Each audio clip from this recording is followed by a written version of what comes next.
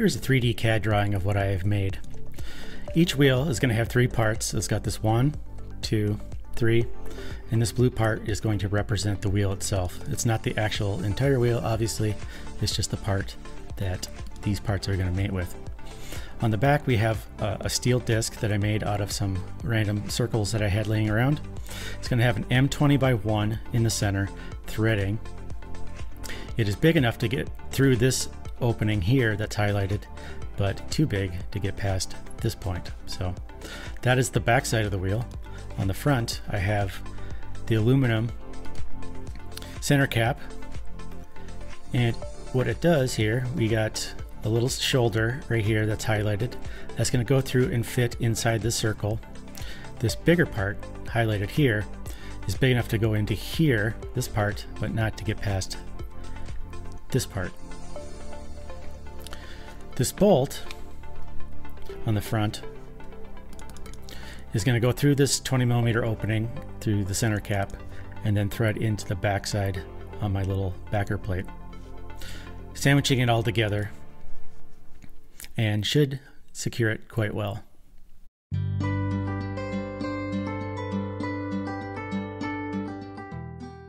Let's get to making these backer plates.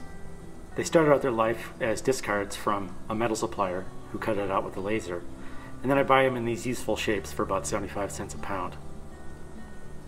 One of the most difficult things to do when you're putting something in a lathe is finding a way to actually put it in the lathe so you can turn it. I want to be able to turn the outside of this disc to the proper diameter, but I can't because the only way I can hold it is in the jaws. So what I'm going to do is increase the diameter of the center here to a half of an inch so I can put it on a half inch arbor. The arbor that I made is just some 5 8 inch round stock. I turned the end to a half of an inch and then put half 20 threads on the end so I could lock it into place.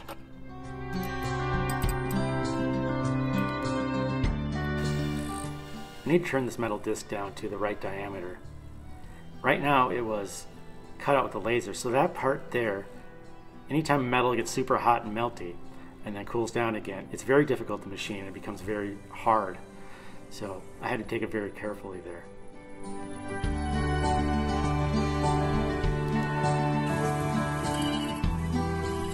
After deburring, I had to test this out to make sure that it fit inside the wheel, and I left it a little loose on purpose so that I can ensure, depending on corrosion, that they were going to fit in all four wheels. I need to thread the inside of this disc to an M20 by 1 thread, which meant that I needed to turn this to roughly 19 millimeters. I had already done one of the previous discs, so I left the settings of the machine alone and just did a plunge cut.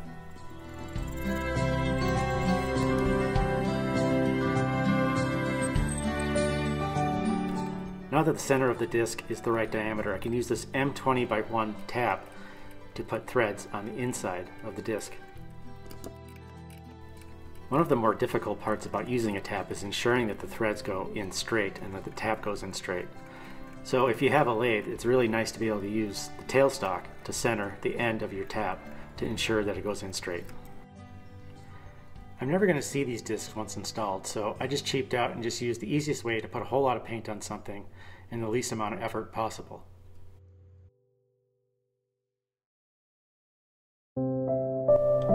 Cut out some aluminum squares on my bandsaw. I'm using the four jaw chuck, which all act independently of one another, to appropriately line the center of this workpiece with the tailstock. I'm going to put a half inch hole like I did before in this workpiece. This is so I can turn the square into a circle later. Currently it's being held in place by the jaws of the chuck and I can't turn the outside. So here it is, a half of an inch, just like before. Had to measure my wheel so I knew what diameter these circles needed to be. And then I marked that out on the square piece and cut off the corners in order to avoid a long tedious process of turning them off on the lathe.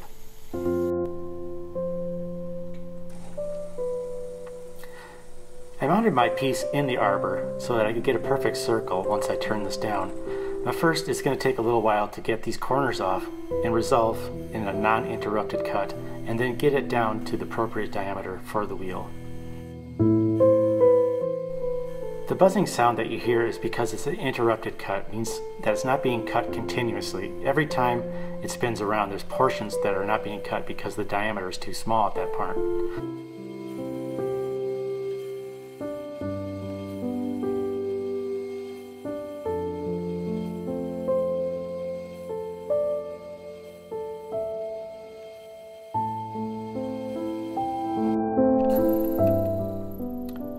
Cut that I'm making here is more for cosmetics than anything else. I don't actually have to do it, but I think it'll make it look nicer.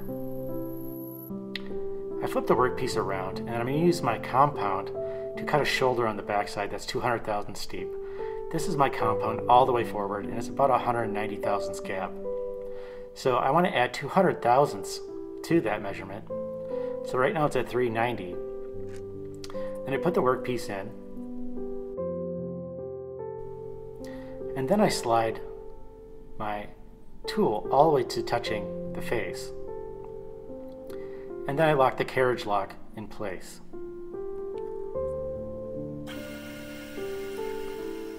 Now when I extend that compound all the way forward, it's going to cut pretty close to 200 thousandths deep, probably within a thousandth or two. And going to repeat this with all four.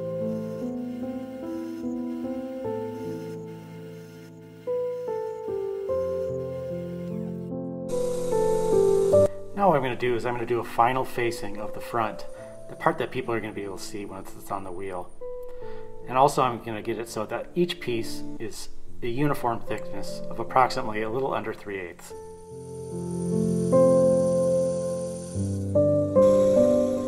With all the edge machining done, I can now put the piece back in the jaws of the chuck without the arbor, and I can bore out the center to just a little over 20 millimeters so I can put the bolt that I'm going to be making through the center.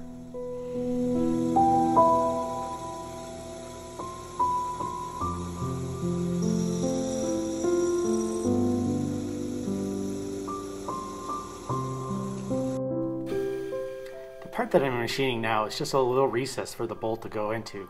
I'm going to make it about one and a quarter because I'm going to be working with one and a quarter inch hex stock and then I'm going to put a 30 degree chamfer on it to make it look a little nicer. I set my compound to 30 degrees I'm going to use that for the travel back and forth. I'm going to set my depth of cut using the crossfeed. Once I'm done with this one, I'll note how far that traveled and then I'll do that on the remaining three so they all look identical.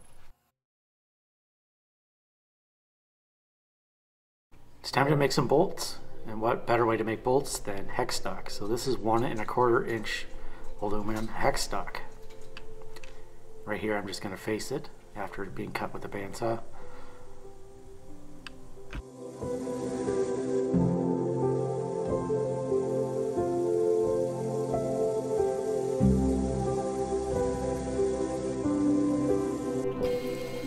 I'm going to use the same trick as I did before and set the compound to 600 thousandths. And then I'm going to turn it down to 20 millimeters.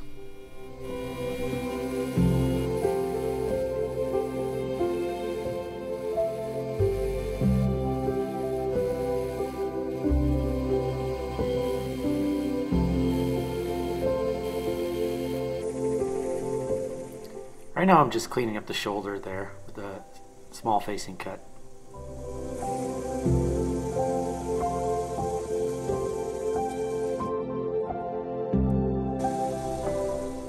This part is going to interface with the center cap and if you remember that had a 30 degree chamfer on it so I'm going to put a 30 degree chamfer on this one as well.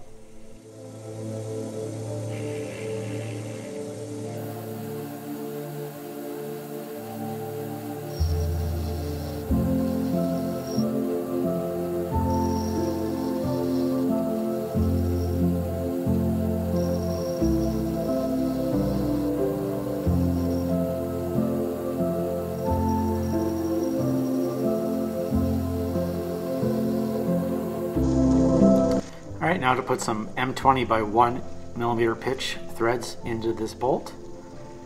Right there I just zeroed it out and I'm going to make a little scratch pass right here. And see how it looks. And then after this I'm just going to keep going with uh, adding a little bit of depth of cut until the threads are formed. When threading, you use a custom combination of gears to make the travel of the carriage linked to the rotation of the headstock. In this case, one millimeter per revolution of the headstock. And that cannot be disconnected, otherwise your thread will start in a different place in relation to what you've already cut. It is for that reason I have to make the machine go backwards to actually get it to go right. This is a nut that I made from the exact same hex stock. I threaded to an M20 thread, same as the bolt, and it's what I'm going to use to turn this piece from now on because I can't actually put it in the chuck without ruining the threads. This is possible because it is a right-handed thread. As the cutter cuts, the only thing it can possibly do to the piece inside the headstock is tighten that bolt into the nut. It can't actually come loose.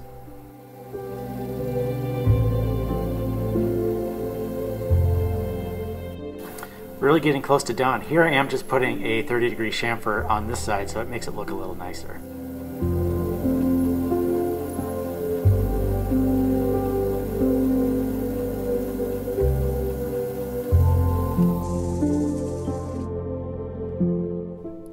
This is the last step, apart from drilling a 5 8 inch hole just to make it look nicer as well. What I'm doing is I'm just putting a 60 degree face on part of the bolt, and this is mostly just for cosmetics.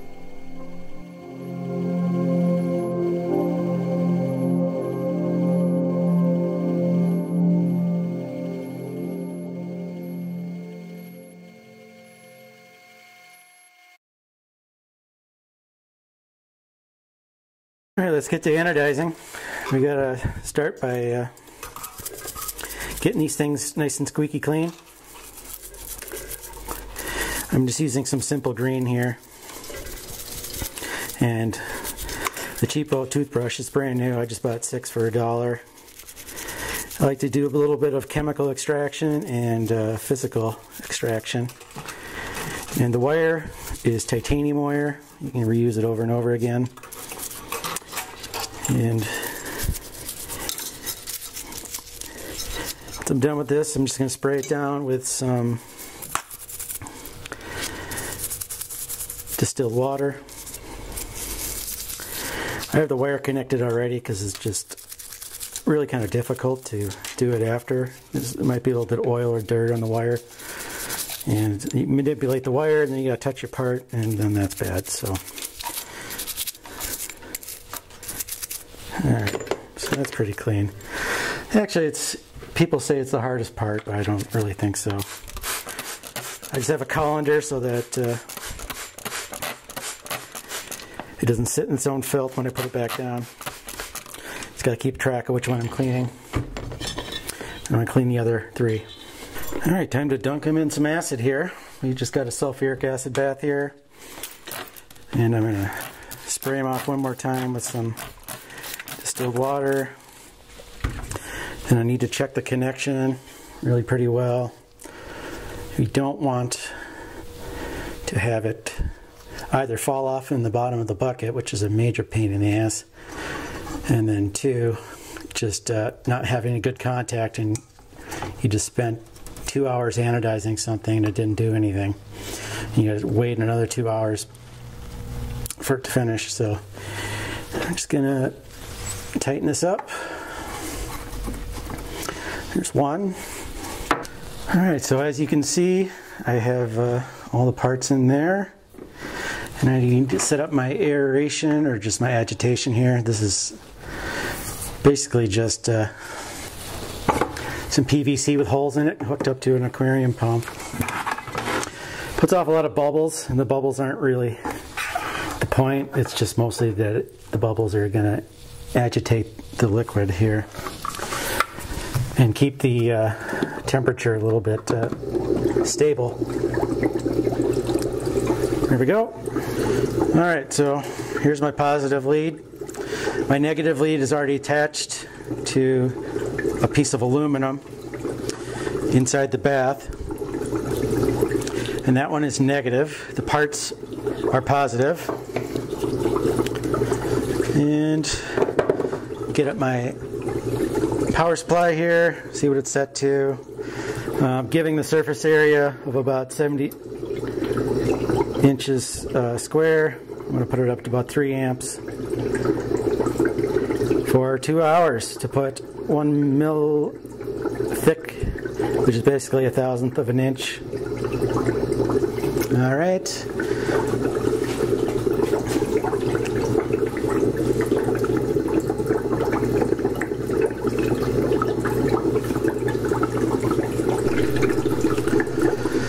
Right, so it just started, and you can see some uh, stuff happening. There's some gas bubbles and stuff floating around, and uh, some other junk. And it's going to take two hours, so I'll come back to it. Time to mix up some dye while this stuff is going on. And then I'm going to get out of here because I don't like the smell of this stuff. It's not very good for you either. But so I'm gonna I have an empty bottle right here. Just gonna tare it. And I'm gonna weigh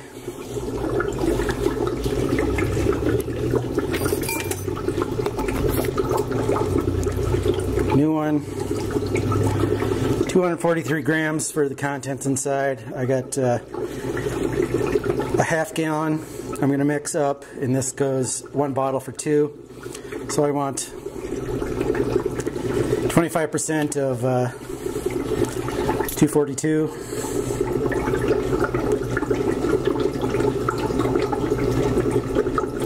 which is uh, 61 grams approximately. And that's just going tare. All right see how I can get 61 grams how close I can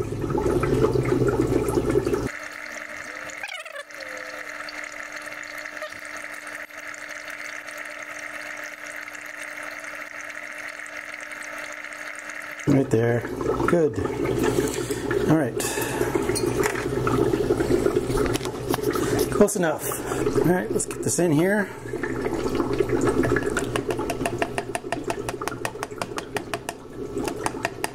Stuff will really stain your fingers so if you have any on your fingers don't get it wet. All right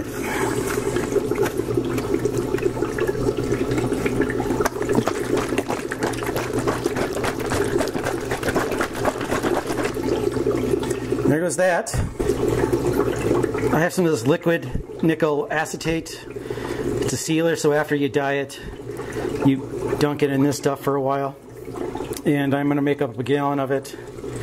So I'm going to tare this, turn it on. All right, so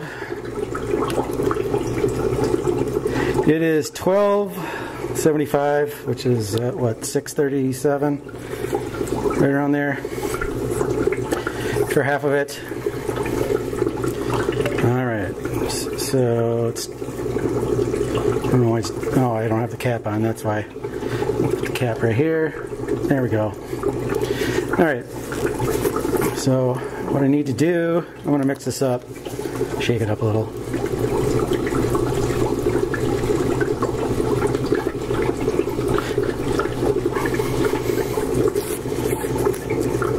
All I'm gonna try not to spill any all over my scale.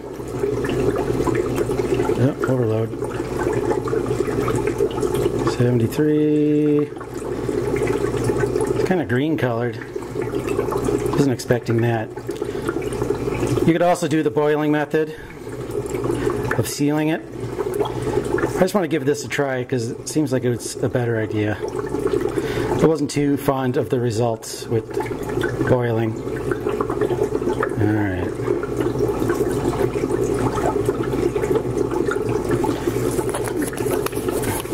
Close. Good enough. So now I'm going to pour it into my jug.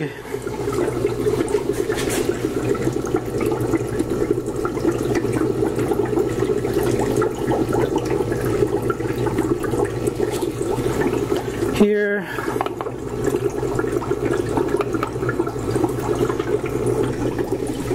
All right, so in this I'm going to put my liquid nickel acetate. In this one I'm going to put my dye. It's only been, I don't know, half an hour since I started my anodizing, So I still got an hour and a half to wait.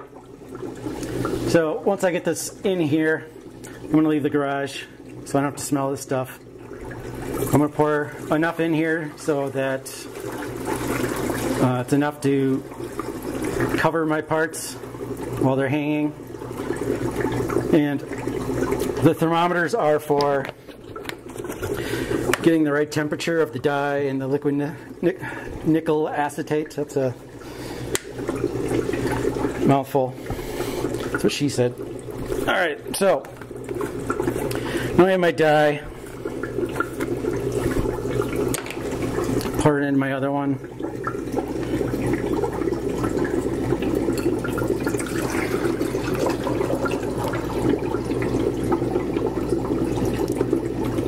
There we go. Obviously, the more you have in there, the longer it takes to heat up. So I don't need to load it to the brim. I'm just going to pour them back into their containers after I'm done. All right, so right now it's just idle time.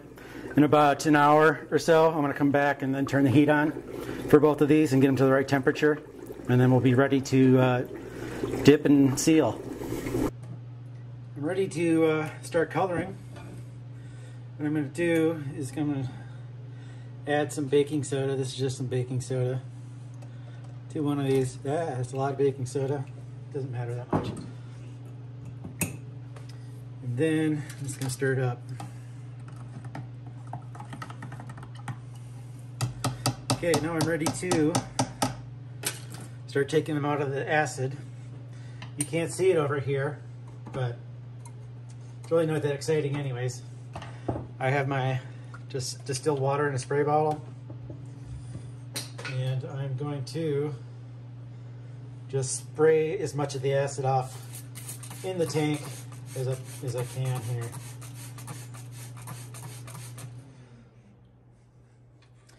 And then I'm going to put it into my baking soda solution and get rid of any hint of acid that was ever there after the spray down. You usually tell because a little gas will come off if there's any on there. Okay, that was my baking soda solution. And then this is just plain water. Reverse osmosis water. Could use distilled. I just had, uh, I have one of those things in my kitchen. So, all right, so I'm just gonna note the time on my watch here. I'm gonna try to leave it in for about six minutes.